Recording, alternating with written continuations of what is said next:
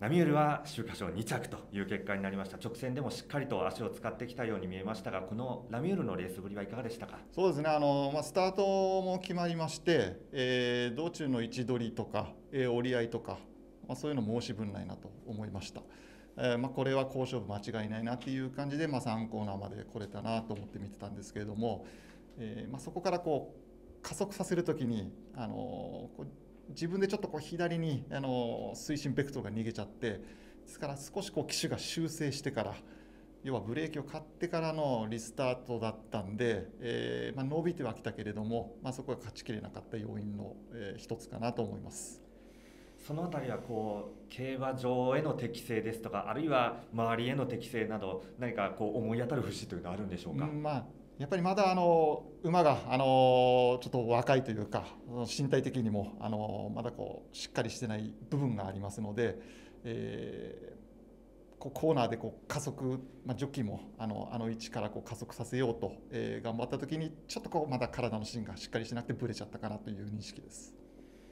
ただ春はこう悩まされていたようなその馬体の面ですね、まあ、目方にはなってしまうんですけれども。前走プラス20キロとなりましたけれどもこの辺りについてはいかがでしたか？あのもちろんあのプラス20はいい材料でありましたけれども、まあ、ナミュールのその骨格とかあから感じるにもう少し大きくても、まあ、いいなと思っているところですね。あの将来的にはもう少しこう馬体重増やしたところで、えー、走るんじゃないかなと思っています。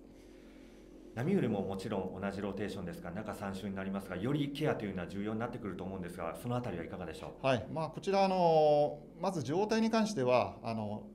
えー、間隔を置いての、えー、週刊賞を1つえ使いまして、えこう内面の、え心配機能は格段に上がりました、えま課題はやっぱ馬体のこうボリュームの維持ですよね。あの、まあ、感覚を取ってプラス20とはいえまだこう管理しててこの馬はあの牝馬的な、え繊細な扱いが必要だなっていうのは今も残ってます。まあ、ですからあの野沢も信楽さんにお願いしましたけれども、えーまあ、両馬のスタニングローズよりはややあのちょっと日にちも、えー、牧場に、えー、お願いして、えー、少しでもこうリラックスして、えー、ケアしてもらって、えー、立冬に戻してきたところですけれども、まあ、立冬に戻ってきてからはあの秋華賞の、えー、前ぐらいの、えー、こう買い食いとか見せてますから、まあ、皆様気にされてる、えーまあ、数字的なものですけれども、まあ、現状1ぐらいでは出れるんじゃないかなっていう感覚は持ってますね。そして1周前、こちらナミュールもハンドで、まあ、ラスト1ハロンも12秒フラットという内容でしたけれども、このナミュールの1周前の調教、いかがでしたか、はい。あのー、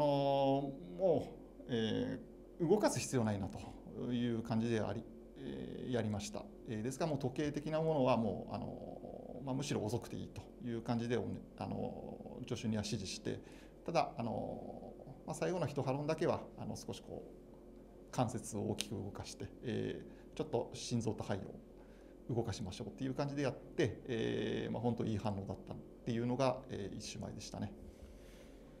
となりますと、今朝水曜日の最小域りも、やはりそのあたりを意識してのものとなりましたそうですね、もう本当にあのもう体できてますから、もう先週と同じ感じでいいという感じで、えー、やりまして、えーまあ、本当、先週と同様な感じの、あの本当無理せず、えー、馬があのこうこっちの指示を出す必要もなくこうスッと加速できるっていうそういう体制をこう冷静な感じで、え待ってるっていうそういういい状態になったなと思いました。ここまでではもうやれることはしっかりできたと、ね、はいあの不安はない状況になったなと思います。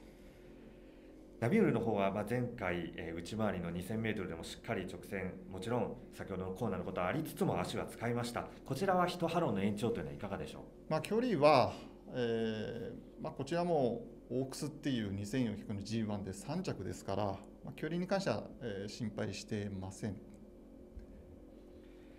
そしてまだまだ伸びしろがあるこのナミュールだとは思うんですけれども現状先ほどお伝えいただいたこの馬体の目方以外にですね何か明らかに変わってきている部分などがあれば教えていただけますか、まあ、変わってきたところといえば、あのー、もう本当に、えーまあ、週刊賞ももちろん、あのー、2着に来るぐらいの出来ではあったんですけれどもあ本当にあのこう定石通り一つ使って、えーさらにこう上積み感じる状況で、えーいけるっていうのが、まあ、目に見える直近の変化ですね。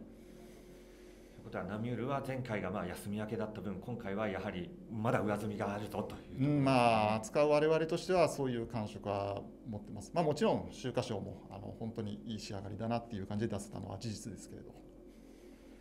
まあ、あと一歩のその G1 のところまで来ているんですけれどもこのあと一歩、まあ、今回このエリザベス女王杯に、えー至ってはですねどういったところがやっぱり G1 制覇には必要になってくるかなと思っていらっしゃいますか？まあやっぱりあの、まあ、4コーナーでこの前、えー少し自分で、えーロス作っちゃいましたけれども、まあ、そのあたりをこう上手にクリアできるか、えーまあ、調教ではこう目に見えて、えーこう強い、えー強制をかけたわけではありません。えーまあ、毎日日々こう丁寧に、えーフラットワーク、えーシュートコースの、えースローキャンター、まあ、販路とも、まあとにかくこう、はみ均等になるように丁寧に作ってきました。まああとは、えー競馬での受賞はあのずっとこの馬乗って、えーもう酸いも甘いも、えー感じてくれた福山武史君にお任せしますし、まあ、彼ならあ対応して、えーくれると、えー信じております。まあ、昨年の今はナミュールがこの世代のトップの評価もされていたほどだと思いますしなんとか一つタイトルをと思っているファンも多いと思いますので最後にこのナミュールへも意気込み一言いただけますでしょうですね、あのーまあ、G1 もこれで、え5戦目ですか、えーそのうち2戦は一番人気にも押していただきましたし、まあ、そういう評価いただいている馬で、えーまた勝たせてあげれてないというのは、っと馬に対しても、えー調教師として申し訳ないっていう思いも当然持ってますので、ここは、えー勝ちたいなと思います。最後に2頭の素晴らしい結果さらには無事を祈っております、はい、ありがとうございます。ありがとうございます。ありがとうございます